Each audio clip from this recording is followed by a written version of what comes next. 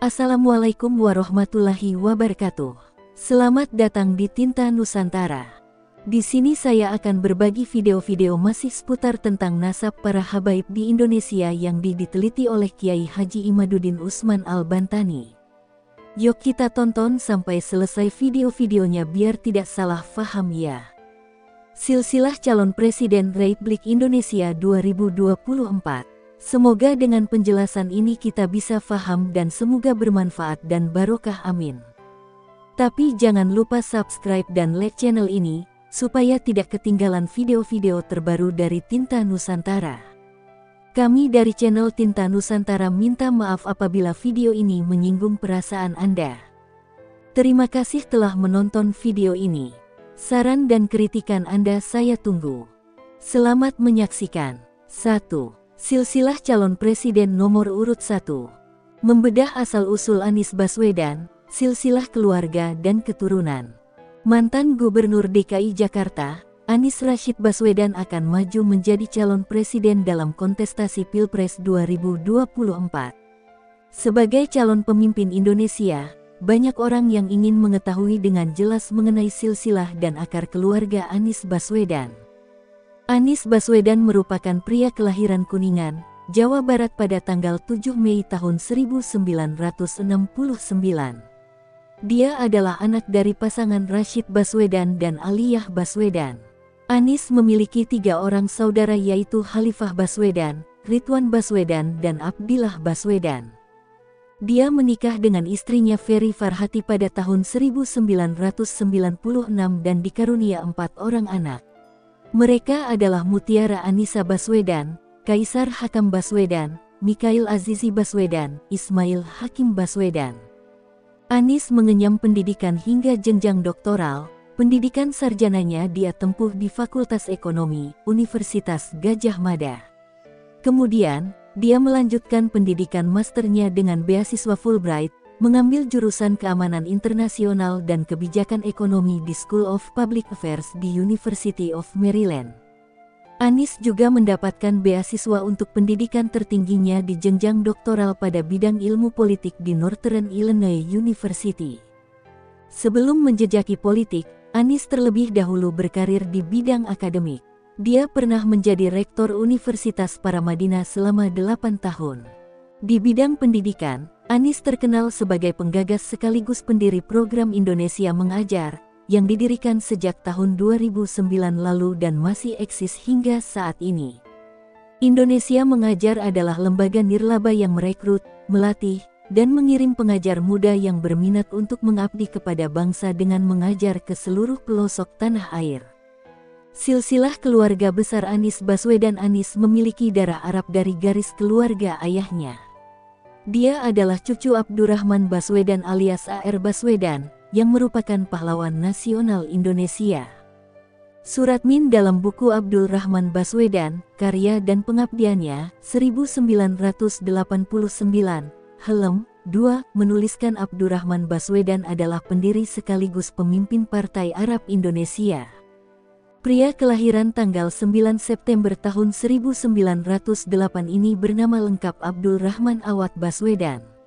Nama Awad diambil dari ayahnya, sedangkan Baswedan adalah nama keluarganya. Sebutan Baswedan sebagai nama suku diperkenalkan oleh kakeknya Umar bin Abu Bakar bin Muhammad bin Abdullah dan kakaknya yang bernama Ali. Umar adalah kelahiran Hadramaut yang saat ini disebut Yaman Selatan. Tujuan kedatangan ke Indonesia adalah ekonomi dan menyebarkan agama Islam.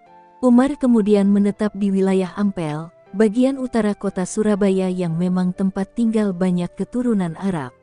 Setelahnya, Umar menikah dengan wanita Surabaya bernama Nur binti Salim Makfud Baktir. Pernikahan mereka dikaruniai 10 orang anak. Abdurrahman Baswedan terkenal dengan kiprahnya sebagai diplomat dan jurnalis. Dia pernah menjadi Wakil Menteri Penerangan Indonesia kedua dalam Kabinet Sejahrir. Sebagai seorang diplomat, di awal kemerdekaan Indonesia, Abdurrahman Baswedan berhasil mendapatkan pengakuan eksistensi Indonesia pertama secara de jure dan de facto dari Mesir. Dia juga merupakan tokoh yang berpengaruh dalam mengajak keturunan Arab di Indonesia untuk memperjuangkan kemerdekaan Indonesia dan membaur bersama dengan masyarakat lainnya. Abdurrahman Baswedan menikah dengan Syaichun.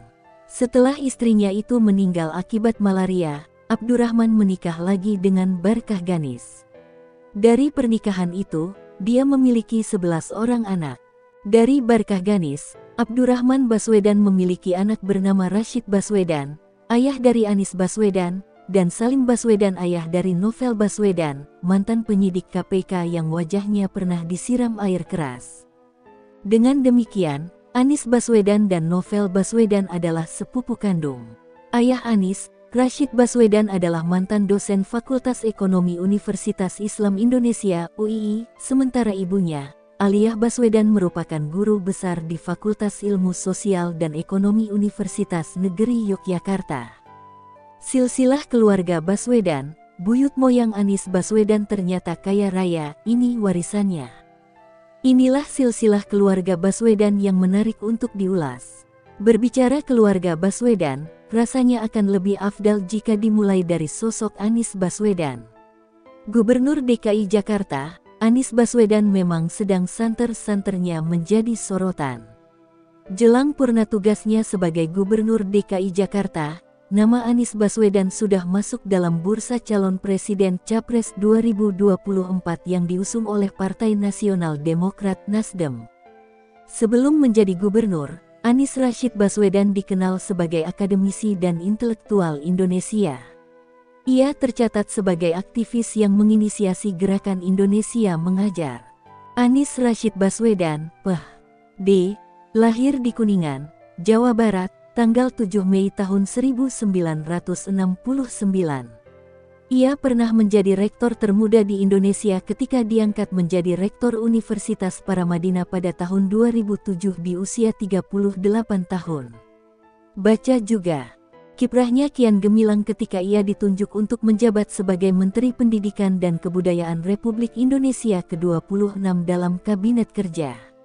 Sayang, Masa menjabat yang diemban sejak tanggal 26 Oktober tahun 2014 hanya bertahan sampai tanggal 27 Juli tahun 2016. Anies kemudian naik menjadi Gubernur DKI Jakarta pada tanggal 16 Oktober tahun 2017. Kini, masa jabatan Anies Baswedan sebagai Gubernur DKI Jakarta akan berakhir pada Minggu, tanggal 16 Oktober tahun 2022. Lepas dari itu, masih belum banyak yang tahu kalau Anies Baswedan memiliki garis keturunan yang tidak sembarangan. Berikut ini adalah ulasan mengenai silsilah keluarga Baswedan yang dilansir ainews.id, Selasa tanggal 11 Oktober tahun 2022. Silsilah keluarga Baswedan berbicara soal silsilah, orang nomor satu di Jakarta itu lahir dan dibesarkan di keluarga terpelajar. Ia memiliki garis darah dari tokoh Islam dan perjuangan kemerdekaan Indonesia. Kedua orang tua Anies Baswedan adalah tenaga pengajar alias dosen. Ayahnya adalah Dr. Rashid Baswedan, SU yang merupakan dosen Fakultas Ekonomi di Universitas Islam Indonesia. Sedangkan ibunda dari Anies Baswedan adalah Profesor Dr. Aliyah Rashid, MPD, yang merupakan guru besar dan dosen Fakultas Ilmu Sosial dan Ilmu Politik di Universitas Negeri Yogyakarta. Anis mempunyai dua saudara kandung yang menjadi adik-adiknya, yakni Ridwan Baswedan dan Abdillah Baswedan. Karena orang tuanya adalah pendidik di Yogyakarta, mereka dibesarkan pula di salah satu kota yang menjadi pusat kebudayaan Jawa tersebut. Anis masih sepupu dengan mantan penyidik KPK, Novel Baswedan. Keduanya mempunyai kakek yang sama yakni Abdul Rahman atau Abdurrahman Ar Baswedan. Kakek dari Anis, A.R. Baswedan adalah seorang jurnalis, tokoh pejuang kemerdekaan Indonesia, diplomat dan serta sastrawan Indonesia. A.R. Baswedan pernah menjadi anggota Badan Penyelidik Usaha dan Persiapan Kemerdekaan Indonesia BPUPKI hingga Wakil Menteri Muda Penerangan RI kedua pada Kabinet Sejahrir. A.R. Baswedan disebut sebagai salah satu diplomat pertama Indonesia yang berhasil mendapatkan pengakuan de jure dan de facto pertama bagi eksistensi Republik Indonesia dari Mesir. Oleh karena itu, kakek Anies Baswedan kini dikenal sebagai salah satu tokoh pejuang kemerdekaan dan pahlawan nasional. Akar klan Baswedan di Indonesia Akar klan keluarga Baswedan di Indonesia bermula dari kakek AR Baswedan, yakni Umar Baswedan dan kakaknya yang bernama Ali Baswedan. Dikutip dari buku berjudul Abdul Rahman Baswedan, karya dan pengabdiannya yang ditulis oleh Suratmin tahun 1989, Umar dan Ali Baswedan dari Hadramaut atau Yaman sekitar pertengahan abad ke-19 Masehi.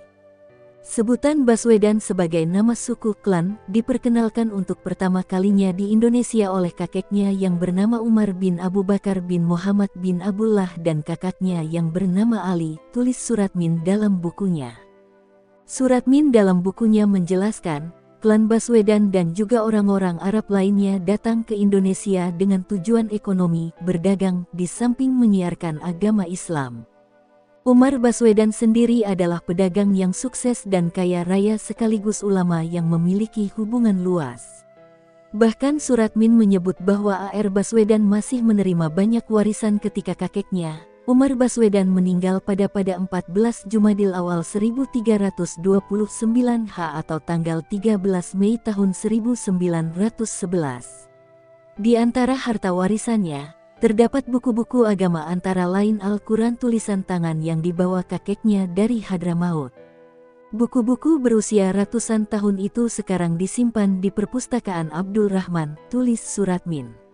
Umar Baswedan menikah dengan wanita kelahiran Surabaya bernama Nur binti Salim. Dari sebelah ibundanya, A.R. Baswedan adalah cucu dari Abdullah Jarhum dari Bangil, Pasuruan, Jawa Timur. Perkawinan Umar dan Nur melahirkan 10 orang anak yaitu 1. Abdullah, 2. Abu Bakar, 3. Sud Masad 4. Awad, 5. Maryam, 6. Aisyah, 7. Ali, 8. Syiha, sembilan perempuan yang meninggal saat bayi, dan sepuluh semaya.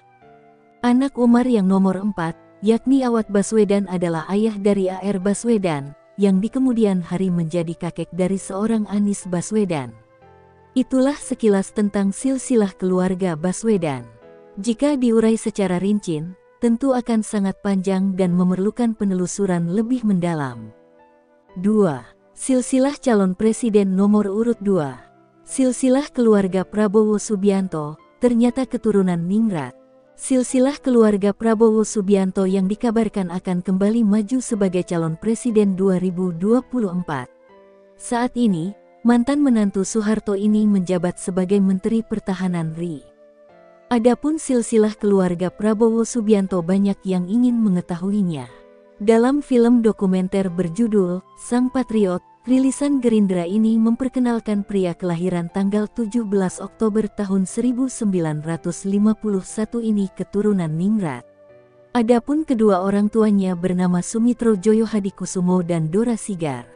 Silsilah Prabowo Subianto keturunan Ningrat dimulai dari Sultan Agung ke Raden Adipati Mangkuprojo, Raden Tumenggung Indrajik Kartonegoro, Raden Tumenggung Kertanegara atau Raden Banyak Wait, dan Raden Kartoatmojo, dia keturunan ke-8 Tras Sultan Agung Mataram dan Kesultanan Yogyakarta Sultan Hamengkubuwono.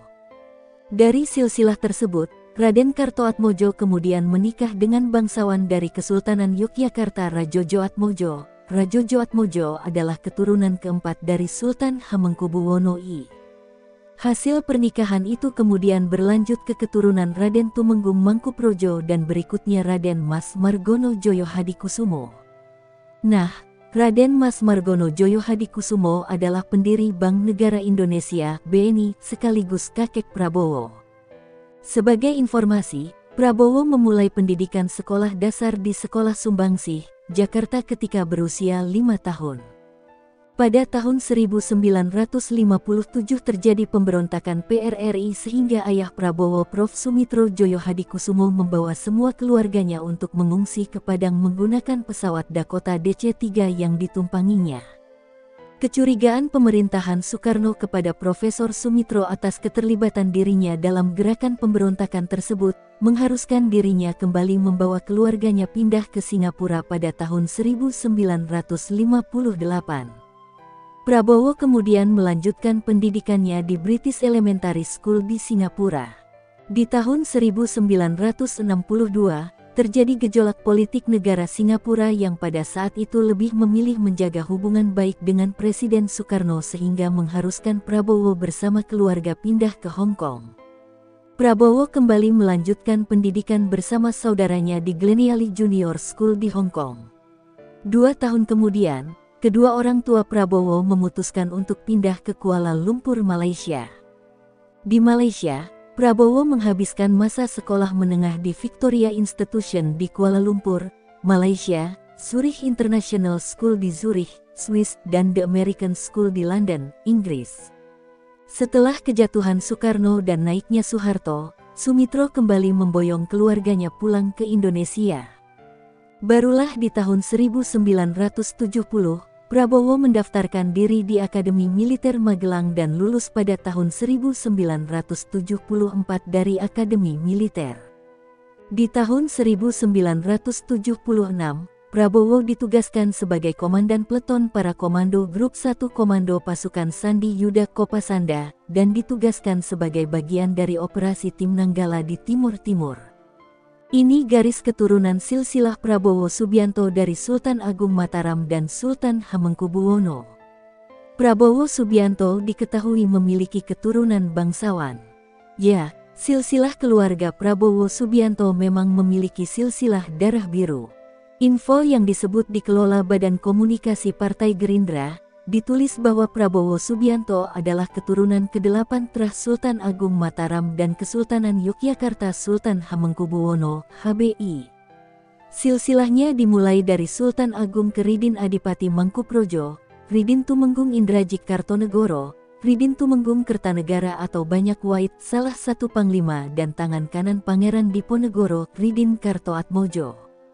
Ridin Kartoatmojo ini kemudian menikah dengan bangsawan dari Kesultanan Yogyakarta Rajo Joatmojo.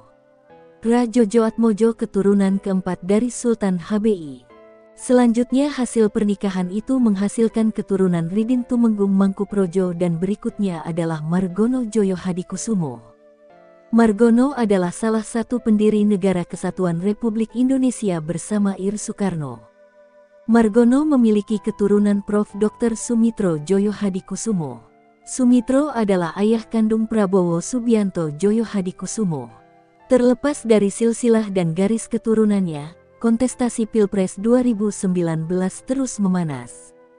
Tak terasa Jokowi dan Prabowo Subianto baru saja beradu argumen dalam debat Capres kedua yang dilaksanakan pada Minggu tanggal 17 Februari tahun 2019. Usai debat capres kedua, tagar bermunculan di media sosial medsos. Beberapa hashtag di antaranya menyangkut Prabowo Subianto, seperti tanda pagar 02 Gagapunikon. Kemudian lainnya berupa isu menyangkut kepemilikan Prabowo atas ratusan ribu hektar lahan. 1. Kokroah alias kecoa. Level valuasi perusahaan startup paling kecil disebut kokroah alias kecoa. Sebutan ini untuk menjuluki perusahaan rintisan awal yang memiliki valuasi masih kecil, tapi tahan banting. Ulet bertahan hidup seperti kecoa. Perusahaan seperti ini bisa menarik para angel investor untuk mengikut sertakan modalnya sehingga valuasinya membesar. 2. Ponis alias kuda poni. Di level selanjutnya, terdapat istilah ponis alias kuda poni. Istilah dipakai untuk menjuluki perusahaan-perusahaan rintisan yang telah memiliki valuasi menembus 10 juta dolar atau sekitar 141 rupiahan miliar. Jika perusahaan di level ini bisa mempertahankan dan menaikkan nilai valuasinya, maka para angel investor dengan modal lebih gede akan tertarik menginjeksi modal segar. Valuasi mereka pun akan terdorong ke level berikutnya. 3. Centaur di level berikutnya ada centaur, makhluk berbadan kuda berkepala manusia dalam mitolog Yunani, menjadi istilah untuk menggolongkan startup dengan valuasi mampu menembus 100 juta dolar. Kira-kira 1,41 triliun rupiah. Lagi-lagi, jika perusahaan perintis segede ini masih bisa meningkatkan valuasinya, para angel investor kelas paus masih bisa tertarik menambahkan modal, sehingga semakin mendorong valuasinya. 4. Unicorn Nah, berikutnya barulah unicorn yang bikin Prabowo bingung. Unicon adalah perusahaan perintis yang valuasinya mampu menembus 1 miliar dolar setara sekitar 14,1 triliun rupiah. Di Indonesia, terdapat empat perusahaan rintisan yang sudah berada di kasta tertinggi ini. Mereka adalah Gojek, Traveloka, Tokopedia, dan Bukalapak. Biasanya, perusahaan startup di level ini sudah semakin sulit mendapatkan pasokan modal segar dari para investor malaikat. Bukan karena tidak menarik, tapi tidak terlalu banyak lagi angel investor yang memiliki kapasitas dana hingga sebesar itu. Oleh sebab itu, menawarkan saham ke investor publik menjadi jalur paling logis untuk semakin memperbesar aset perusahaan dan mendongkrak valuasinya. Namun, setelah menjadi perusahaan publik, umumnya karakter perusahaan rintisan mulai berubah. Menyesuaikan tuntutan investor di bursa saham, mereka akan mulai mengejar perolehan laba dari semula mengejar peningkatan valuasi. CB Insight dalam laporannya pada Januari tahun 2019 mencatat saat ini ada lebih dari 300 unicorn di seluruh dunia. 5. Dekakon Di atas unicorn, ternyata ada dekakon. Dekakon adalah sebutan untuk perusahaan yang nilainya lebih dari 10 miliar dolar atau setara 147 triliun rupiah. Asumsi 1 dolar sama dengan 14.700 rupiah, sedangkan hektokon, hektokon untuk perusahaan yang nilainya lebih dari 100 dolar. Jadi, bisa dikatakan kedua istilah ini merupakan tingkatan atau kasta di atas lebih tinggi dari unicorn. Dikutip dari Tribun Timur, Level tertinggi adalah hektokon. Di antara 300 unicorn, tidak sedikit perusahaan yang naik kelas menjadi dekakon dan calon hektokon. Kedua istilah ini merupakan kasta perusahaan yang lebih tinggi di ranah startup. Dilansir dari kompas.com, Menteri Keuangan Sri Mulyani mengungkapkan, Indonesia sudah sangat dipandang oleh negara lain dalam hal penciptaan unicorn, startup atau perusahaan rintisan yang bernilai di atas 1 miliar dolar AS. Hal itu ia sampaikan saat ditanya oleh wartawan terkait dukungan Kementerian Keuangan kepada para-para unicorn Indonesia yang juga menjadi pembahasan di debat Pilpres.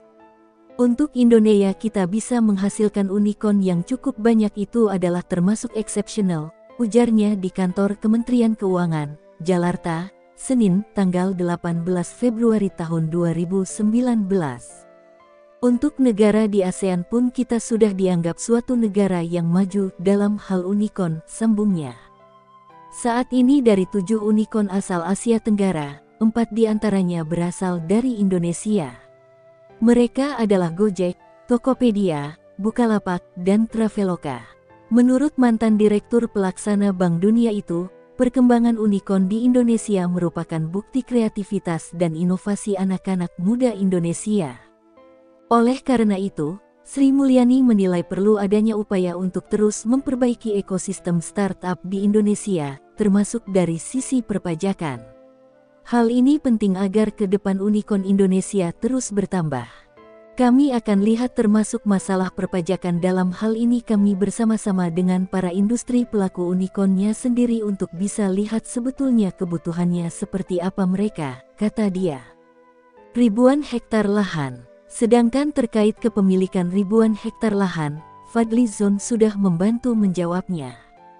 Anggota Dewan Pengarah Badan Pemenangan Nasional BPN Prabowo Subianto, Sandiaga Uno, Fadli Zon, menilai capresnya menyelamatkan aset bangsa dengan menguasai ratusan ribu hektar lahan di Indonesia.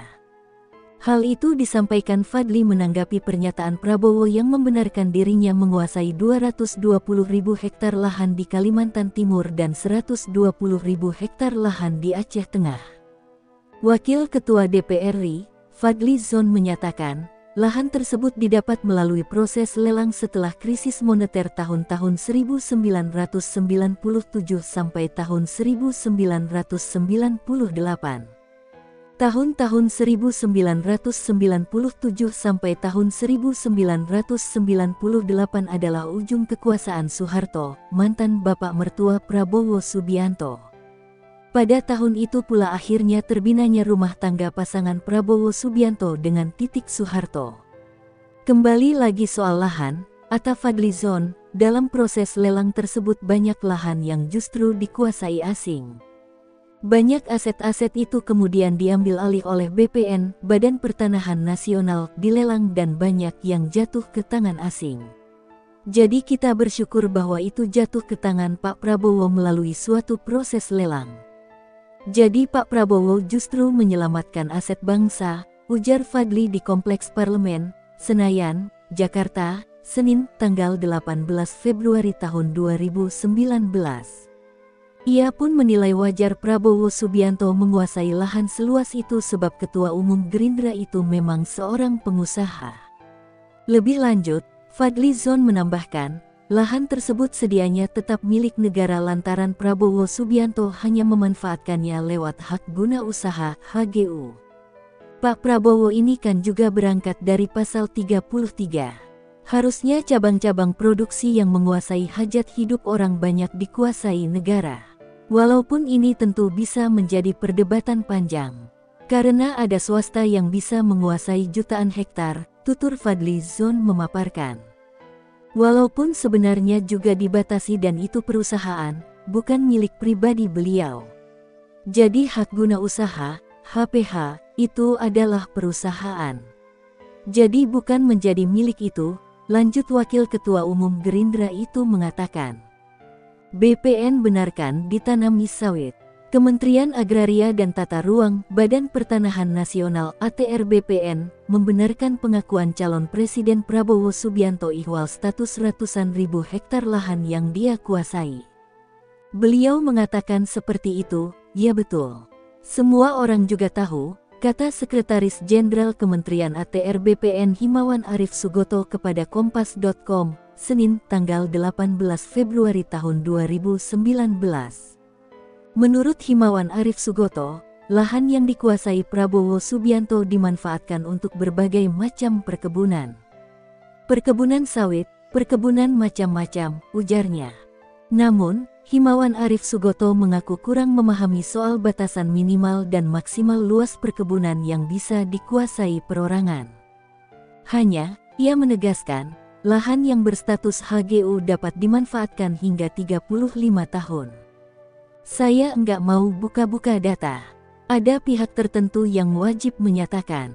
Untuk konsumsi publik, saya tidak boleh menyebut, katanya. Yang pasti kalau batasan luasan itu ada aturannya. Tapi, itu ada revisi perbaikan. Yang jelas UU Pertanahan mau dibahas juga.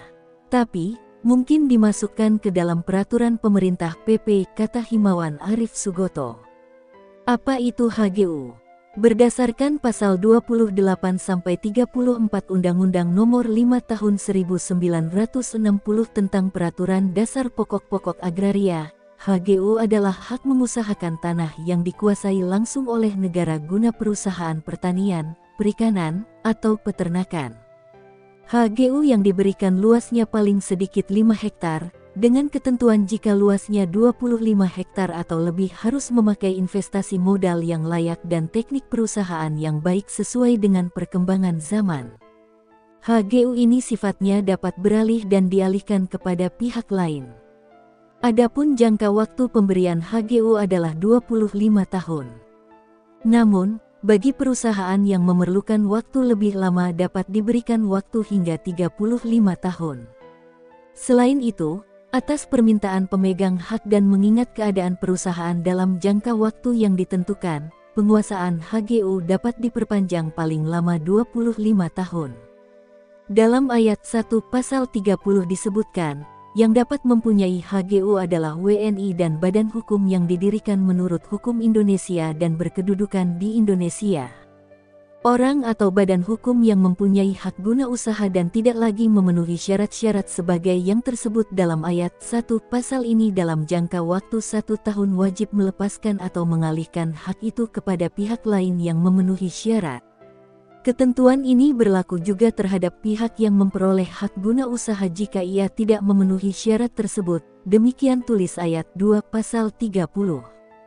Jika hak guna usaha yang bersangkutan tidak dilepaskan atau dialihkan dalam jangka waktu tersebut, hak itu hapus karena hukum, dengan ketentuan bahwa hak-hak pihak lain akan diindahkan, menurut ketentuan-ketentuan yang ditetapkan dengan peraturan pemerintah, lanjut bunyi ayat tersebut. Penetapan status HGU terjadi karena adanya penetapan pemerintah. HGU yang diterima harus didaftarkan menurut ketentuan yang dimaksud dalam pasal 19. Nantinya, pendaftaran itu akan menjadi alat bukti yang kuat mengenai peralihan serta hapusnya hak guna usaha, kecuali dalam hak itu hapus karena jangka waktunya berakhir. Dalam penjelasan terakhir, HGU dapat menjadi jaminan utang dengan dibebani hak tanggungan. Status HGU dapat dihapus karena jangka waktunya berakhir, adanya syarat yang tidak dipenuhi, dilepaskan oleh pemegang hak, dicabut untuk kepentingan umum, ditelantarkan, atau tanahnya musnah. Sebelumnya dalam debat kedua Prabowo disebut memiliki lahan seluas ratusan ribu hektar di Aceh dan Kalimantan Timur. Pernyataan itu disampaikan calon presiden nomor urut 01 Joko Widodo dalam debat kedua Capres, Minggu tanggal 17 Februari tahun 2019 malam. Menurut Jokowi, Prabowo Subianto punya lahan di Kalimantan Timur seluas 220 ribu hektar dan di Aceh Tengah seluas 120 ribu hektar. Data tersebut diakui Prabowo Subianto. Namun, ia mengaku hanya memiliki hak guna usaha HGU. Sementara tanah tersebut milik negara. Itu benar, tapi itu HGU, hak guna usaha itu milik negara. Setiap saat negara bisa ambil kembali.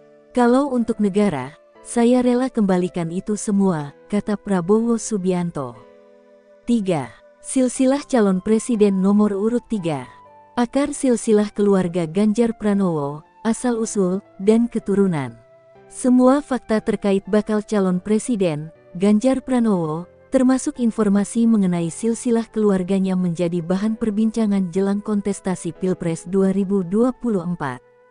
Pada Rabu, tanggal 20 September tahun 2023, Ganjar menghebohkan publik dengan menyebut adanya peluang bagi dia untuk berduet dengan Prabowo dalam Pilpres 2024. Pasalnya, menurut Ganjar, dalam manuver politik, Sebelum pasangan capres dan cawapres ditetapkan oleh KPU semua peluang bisa terjadi, termasuk kemungkinan berduet bersama Prabowo. Senada dengan Ganjar, Ketua DPP PDIP, Puan Maharani, juga mengungkap bahwa kemungkinan duet itu bisa saja terwujud mengingat dinamika politik masih cair. Puan juga bilang, dirinya kerap bertemu dengan Prabowo, sehingga jika ditanya soal kemungkinan, dia menjawab bahwa itu bukan mustahil, mengingat politik selalu memungkinkan untuk bersilaturahmi. Menanggapi pernyataan kubu Ganjar, Ketua DPD Gerindra DKI Jakarta, Ahmad Riza Patria menjelaskan pada Kamis, tanggal 21 September tahun 2023 bahwa Koalisi Indonesia Maju Kim yang mengusung Prabowo pada Pilpres 2024 menyambut dengan baik jika Ganjar ingin bergabung.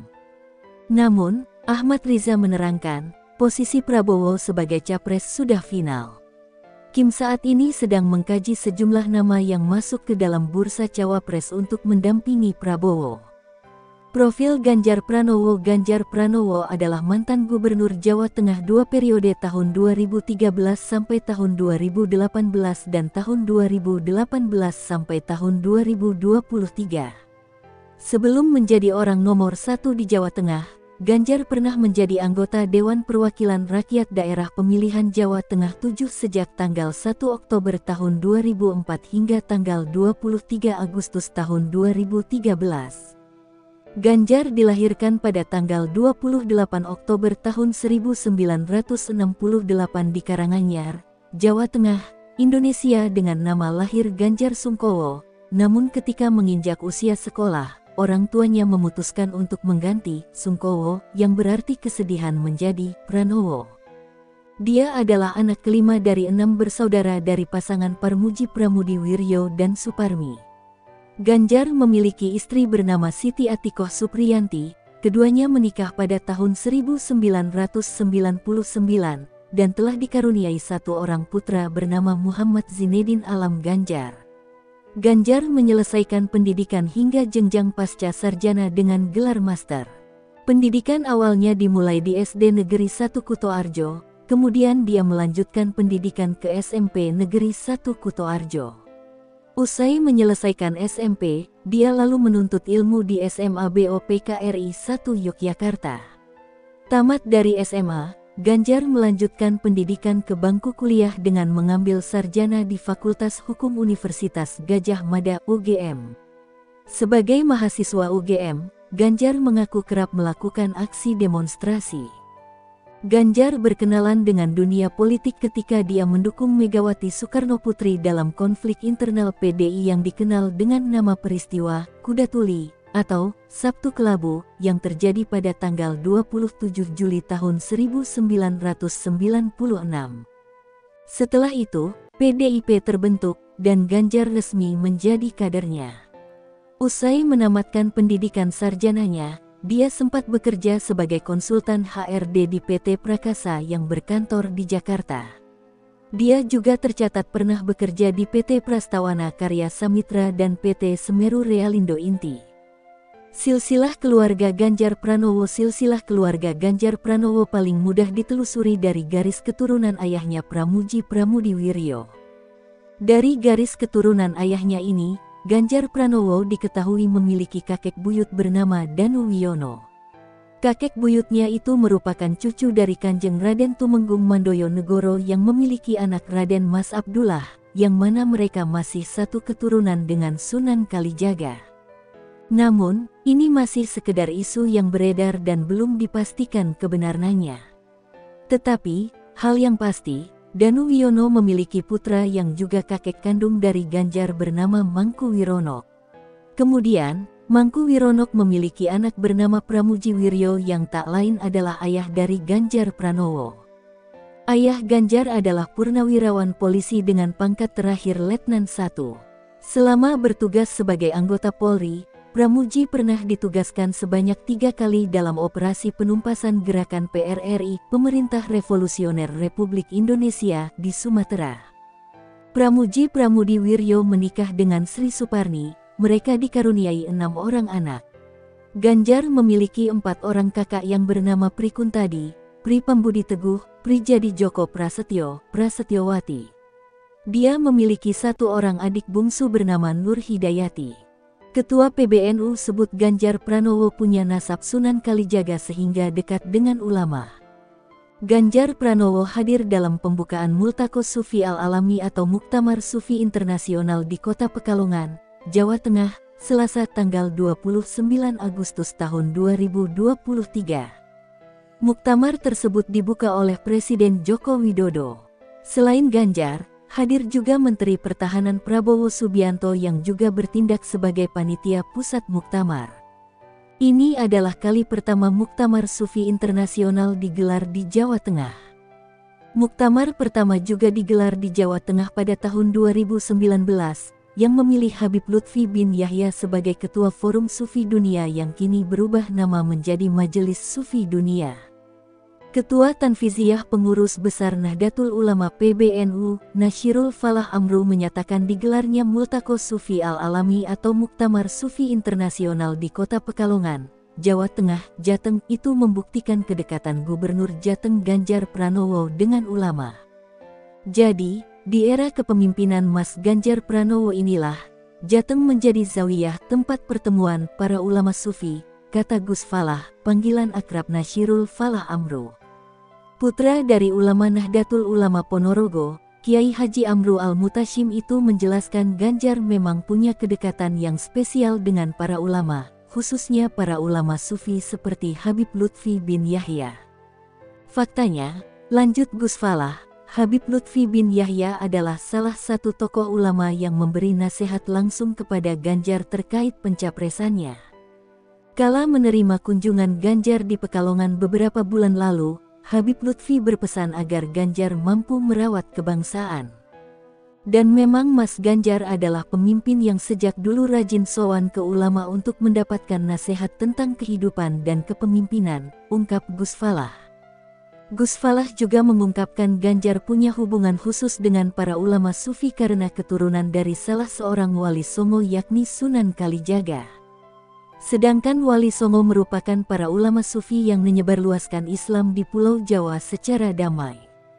Dan Mas Ganjar juga punya kedekatan dengan Nahdlatul Ulama, penerus ajaran Wali Songo, lewat istrinya, yakni Siti Atikoh yang merupakan cucu dari seorang Kiai Nu yang sangat dihormati, ujar Gus Falah.